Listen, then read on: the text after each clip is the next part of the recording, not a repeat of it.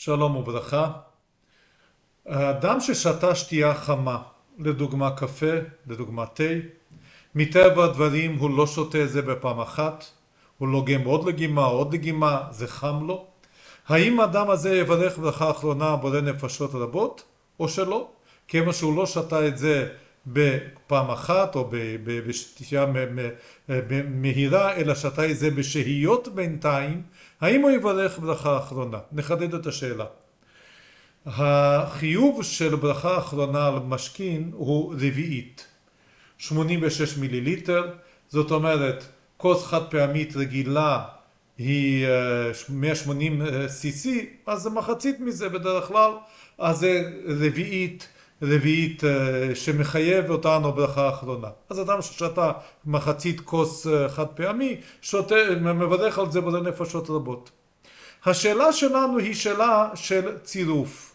הרי ברור שאם אדם ישתה לגימה אחת בבוקר ולגימה אחת בלילה, ודאי שהדברים לא מצטרפים לשתייה אחת.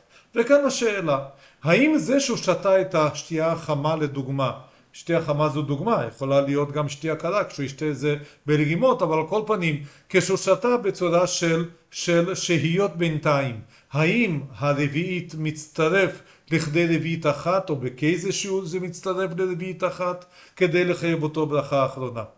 והדבר הוא מאוד מעניין, שכאן אנחנו רואים חידוש בשיטת אדמו"ר הזקן לגבי השיטה הנהוגה בעולם, לגבי שיטה של פוסקים אחרים ומנהג העולם. וכפי שנראה, אדמו"ר הזקן מחדש פה חידוש מאוד מעניין. בכדי לדון על, ה, על הצירוף, נקרא לשאלה הזו צירוף, צירוף משכין לברכה אחרונה. מתי זה מצטרף בכדי לחייב ברכה אחרונה במשכין? במאכלין הדברים ברורים, זה כזית, מחייב ברכה אחרונה, בכדי אכילת פרס. כמה זה כדי אכילת פרס? אכילת פרס זה זמן שלוקח לאדם לאכול חצי כיכר לחם. לגבי ברכה, ברכת הנהנין אנחנו מדברים על כשלוש ביצים. כמה זמן לוקח לאכול כשלוש ביצים? אז הזמן שרבי חיים נועה כותב ארבע דקות. ארבע דקות לגבי ברכת הנהנין, לגבי יום כיפור דברים אחרים השיעור הוא שונה, לגבי ברכת הנהנין ארבע דקות. ואם כן אדם שאוכל כזית של מאכל בתוך ארבע דקות מברך ברכה אחרונה. מה קורה לגבי משכין? מה הזמן שמצרף את המשכין לכדי שתייה שתחייב אותו, לחייב את האדם בברכה אחרונה? ובכן, הדיון מפורשות בפוסקים לא נמצא בשולחן ערוך בצורה מפורשת, וגם לא בשולחן ערוך אדמו"ר הזקן. הדיון הזה נמצא לגבי, מדבר על לגבי ברכה אחרונה כמובן, הוא לא נמצא בצורה מפורשת. הדיון הזה נמצא מפורש לגבי יום כיפור. זאת אומרת, ידוע שביום כיפור יש איסור של שתייה מן התורה שמחייב עונש, זה מלוא לוגמיו, כך שזה פחות מרביעית, זה כמות שאדם מסלק את המשקה לצד אחד של הפה. ולגבי שיעור, ולגבי השיעור שמצרף את המלוא לוגמיו מחייב חלילה אדם שעושה במזיד עונש, השיעור הוא מחלוקת בין הרמב"ם להרייבד. הרמב"ם מכיר בשיעור של בכדי שתיית רביעית, זאת אומרת אדם שותה מלוא לוגמיו, יכול להיות לדוגמה 40-50 cc, הזמן שמצרף, אם הוא עושה את זה בפעמיים, בכמה לגימות, הזמן שמצרף זה זמן שלוקח לאדם לשתות רביעית. ואילו הרעב"ד חולק על הרמב"ם, והוא אומר שהשיעור של המשקה הוא זהה לשיעור של האוכל, גם הוא בכדי אכילת פרס. גם הוא מצטרף בכדי אכילת, בשיעור של אכילת פרס, וכמו שהזכרנו ביום כיפור השיעורים הם שונים, לא נתמקד בגלל שזה לא הנושא שלנו. למה זה משנה ביום כיפור בזמננו של עונשים? זה משנה לגבי חולים. חולה שיש בו סכנה שמתירים לו לשתות ביום כיפור, העדיפות הראשונה שלא ישתה בזמן שמצרף את השתייה לכדי שיעור תורה. גם חצי שיעור אמנם הוא אסור מן התורה. גם אדם שלוקח אוכל כלשהו, שותה כלשהו, זה אסור מן התורה. אבל אנחנו משתדלים בעדיפות ראשונה שלא ישתה בשיעור שמחייב אותו, דהיינו אותו שיעור של המחלוקת הרמב"ם והרייבד, אז יש פה לפי הרמב"ם אפשר להקל יותר עם חולה, ולפי הרעב"ד צריכים להחמיר עם חולה, ולהגיד לו אל תשתה בזמן שהשתייה הזו תצטרף לכדי שתייה אחת. וככה למעשה נוהגים לכתחילה, אם חולה שמתאפשר, אז אומרים לו להחמיר ולא לשתות בשיעור ש, של צירוף של המשקים. מה קורה בבריכת הנהנין? בנושא שלנו. המגן אברהם, הדיון הזה מתחיל לפני כן בכנסת הגדולה, הפוסק, אחד הפוסקים אה, אה, מאה שנה אחרי השולחן ערוך, הוא לא רואה קשר בין השיעור של, של יום כיפור לבין שיעור של ברכת הנהנין, הוא אומר זה נוס, שני נושאים שונים. אבל המגן אברהם כן רואה קשר, והמגן אברהם, שאחד מה, מהפוסקים הכי יסודיים שפסיקת ההלכה מושתתת עליו, הוא מדמה. הוא אומר, מה הצירוף לגבי ברכה אחרונה שמצרף את השתייה?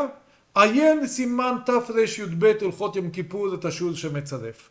זאת אומרת שלפי המגן אברהם, כשם שביום כיפור יש מחלוקת רמב"ם וראב"ד, לפי הרמב"ם הזמן שמצרף את השתייה זה זמן שלוקח לאדם לשתות רביעית, ככה לפי ביום בברכת הנהנין הזמן שמצרף זה בכדי שתיית רביעית. אם ככה, לפי הרמב"ם, אדם ששתה קפה או תה לאט לאט כמה דקות, אז הוא לא יברך ברכה אחרונה, שהוא שתה יותר מאשר הזמן של שתיית רביעית. ואילו לפי הרעב"ד, הרי הרמב"ם, הרי המגן אברהם מפנה ליום כיפור, אומר שזאת המחלוקת. ולפי הרעב"ד, אם אדם שתה את המשקה, לפחות הוא שתה 86 מיליליטר תוך 4 דקות, אז הוא יברך ברכה אחרונה. אז לפי המגן אברהם יש השוואה בין הלכות יום כיפור לבין ברכות הנהנין, כשם ששם יש מחלוקת, גם כאן תהיה מחלוקת. אז מה עושים? יש מחלוקת. אז מרבית הפוסקים אומרים, כמו הברכי יוסף, כמו המשנה ברורה, ככה מנהג העולם, ספק ברכות להקל. יש ספק בהלכה, ספק בהלכה, ספק ברכות להקל.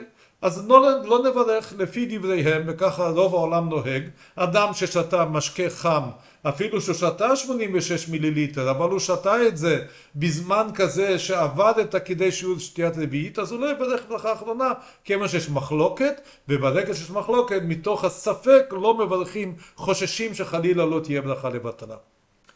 וכאן אדמו"ר הזקן מפתיע. באדמו"ר הזקן כתב, בנוסף לשולחן ערוך, הוא כתב מקבצי הלכה שונים, וחלק מהם הדפיס בסידור, בסידור, בסידור שלו. בעניין של ברכות הנהנין יש שתי מהדורות. מהדורה הראשונה זה נקרא לוח ברכת הנהנין. בלוח ברכת הנהנין, שם אדמו"ר הזקן מביא את המחלוקת לגבי שיעור, צירוף, אם זה רביעית או כדי אכילת פרס, והוא מסיק, כמו שרוב הפוסקים אומרים, ספק ברכות להקל, לא לברך.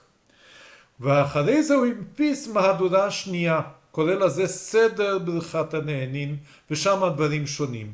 בסדר ברכת הנהנין, בפרק ח' בהלכה ו', מביא בהתחלה מחלוקת כמה זמן הצירוף, אם זה כדי שתיית רביעית או זהה לאכילה כדי אכילת פרס, והוא מסיים, אחרי שמביא את השיטה השנייה, שהשיעור הוא בכדי אכילת פרס, הוא מסיים וכן עיקר. עיקר שזה כדי אכילת פרס. לפיכך הוא מסיים למעשה, יש לברך ברכה אחרונה על קאווי, קפה, ותה חמין, אף על פי ששותהו מעט מעט. מסיק על ההלכה למעשה מי ששותה קפה או תה חם לברך ברכה אחרונה גם אם הוא שותה מעט לאט, לאט לאט, אם לא שהה יותר מכדי אכילת פרס. כמובן בתנאי שהוא לא הפסיק יותר מאשר אכילה כדי אכילת פרס. כבר הזכרנו, רבי חיים נאה, שלגבי ברכות הנהנין, כדי אכילת פרס הוא ארבע דקות. לגבי כיפור זה שיעור אחר, לגבי ברכת הנהנין ארבע דקות. אז אם כן, אומר אדמו"ר הזקן למעשה, כאן אם אדם שתה קפה או תה, אז יבדוק אם הוא שתה חצי, מח, כמחצית מהכוס, כוס רגילה, הוא שתה מחצית ממנה בזמן שהוא עד ארבע דקות, יברך ברכה אחרונה בודד נפשות רבות. מדוע? מה קרה שאדמון הזקן שינה את החלטתו מלוח ברכת הנהנין וכאן הוא אומר לברך?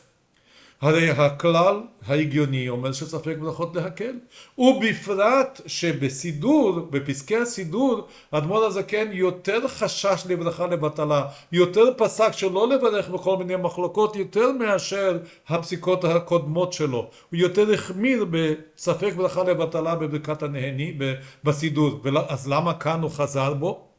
ואמר לברך יש, היה לאדמו"ר הזקן אח בשם רבי יהודה לייב, הוא כתב ספר שארית יהודה, שאלות ותשובות, והוא כותב שם שהוא שמע מאחיו, מאדמו"ר הזקן, הסבר לזה.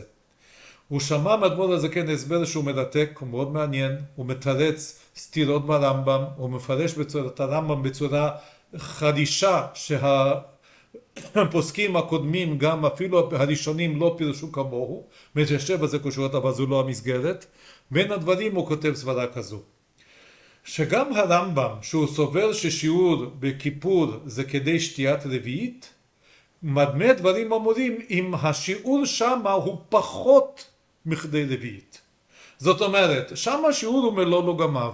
מלוא לוגמיו, שאדם מסלק את המשקה לצד אחד של הפה, 40, תלוי בגודל של האדם, זה פר אדם, עד 40 מיליליטר בדרך כלל זה כל אדם, אז 40 אה, מיליליטר הזמן ההגיוני שיעשה את הצירוף זה זמן שלוקח לאדם לשתות אה, כדי רביעית. אז מילוא לו גמיו שזה פחות מרביעית הזמן שמצרף זה זמן של רביעית. אבל אומר אדמו"ר הזקן בברכות הנהנין הזמן, סליחה, השיעור שמחייב ברכה זה רביעית. זה לא הגיוני שמה שיעשה את הצירוף זה לשתות רביעית בכדי שתיעור שתיית רביעית והשיעור שעשה את הצירוף זה, באותו, זה זהה לשיעור של ה, של, שמחייב ברכה אחרונה בעצמה.